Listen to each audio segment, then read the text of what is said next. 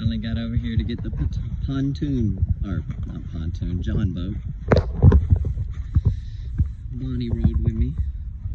Bonnie, Bonnie. Looking at the four-wheeler.